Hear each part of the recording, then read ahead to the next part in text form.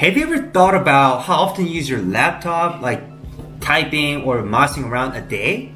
The heaviest computer user accumulates up to 3 million keystrokes and 17 miles of mousing a year. 17 miles of mousing a year. Just let that sink in.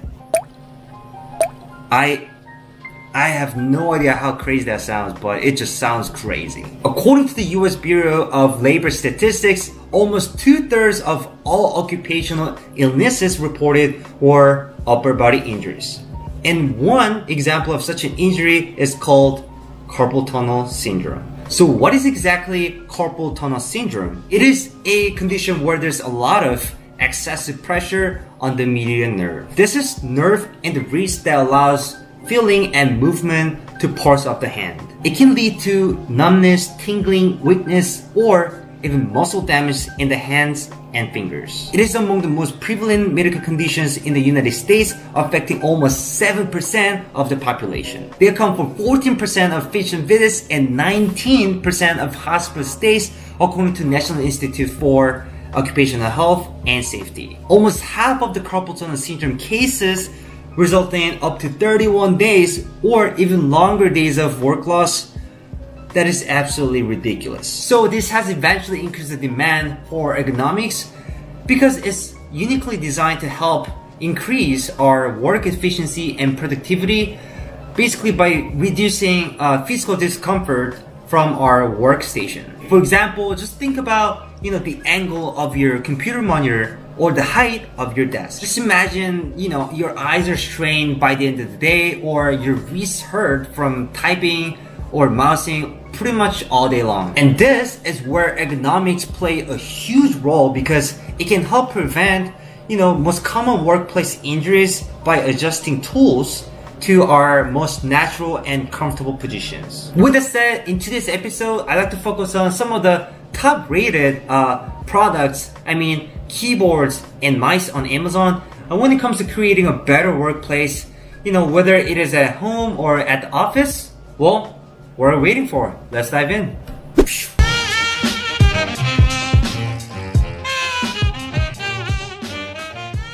This is my first ever ergonomic keyboard that I used uh, almost three years ago until I switched over to this Microsoft Sculpt ergonomic keyboard, which also came with this ergonomic mouse right here. I was using those two products until I got this brand new ones by Logitech about a two or a month ago, which also came with this brand new ergonomic mouse right here. Now, I really do want to say that these are all great products and I really liked each one of them when I was using it. However, each product has its own pros and cons and I like to share what those are and my personal opinions on that. So I think this episode is going to help you decide which product might be best for you in your case, especially if you're considering to get one for yourself. To kick it off, Perixx Periboard 512 ergonomic split is absolutely budget friendly.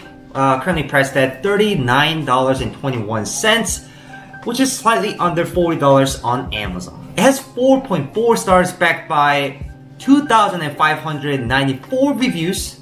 Um, and I really still like this one to this date because of the way, you know, typing feels on this one. And what I mean by that is it has that old school feel of typing like you know, each keystroke is pretty bulky um, and because it stands out. Um, and it makes that satisfying sound and touch from one of those traditional keyboards back in the day. It definitely carries that over and it really focuses on basics and fundamentals of what, you know, basic keyboards should be. But on the flip side, it can get pretty noisy and it can sometimes bother others around you. I was actually complaining about this back in the day uh, when I used to work at a different company by, you know, some of my coworkers. Um, they really didn't like it. Yeah, yeah, you got it. Yeah. While there is an wireless version. Uh, this version, unfortunately, right here is not wireless, so you'll have to deal with the, you know, the lengthy USB cable to be able to use it. This may not be an issue necessarily if you don't mind it, but if you are one of those people who are, you know, who try to be a cord cutter, uh, then yeah, this may be a downside for you. It comes with this wrist support and it's definitely better than not having it. But unlike the Microsoft Sculpt and Logitech Ergo K860, it is actually made of hard plastic. It also comes with these uh, two legs underneath where you can adjust the uh, angle of the keyboard but I find it not that practical at all because um, it rather puts more, you know, de-stress on your wrists. It's relatively light compared to the other two keyboards, but because of that, the build quality, um, I cannot help, but it feels pretty cheapy. Moving on to Microsoft Sculpt keyboard is currently priced at $70 for the keyboard alone, but with the mouse is priced at $150. I personally recommend to get the keyboard and mouse separately because the mouse alone is priced at $40 only. So if you do the math, you'll be able to know what is a better deal for you. First of all, it's wireless supported by this micro USB. It has the most sleek and compact design among the other two keyboards, which is because it has a separate number pad. So that kind of helps maximize flexibility and mobility in that sense. I've actually lost my number pad a long time ago, so my apologies for not being able to demonstrate it in this episode.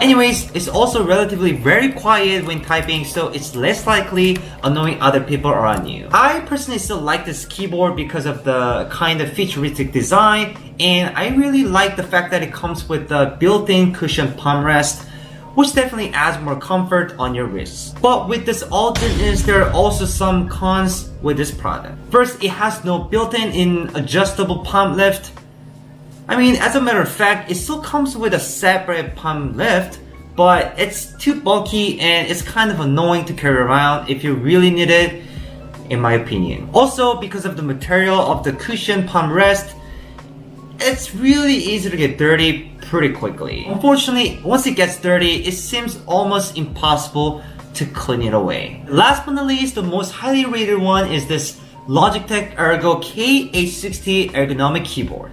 This one can be purchased at $130 on Amazon, but with the MX vertical mouse, it's, wait for it, $223. What? Goodness.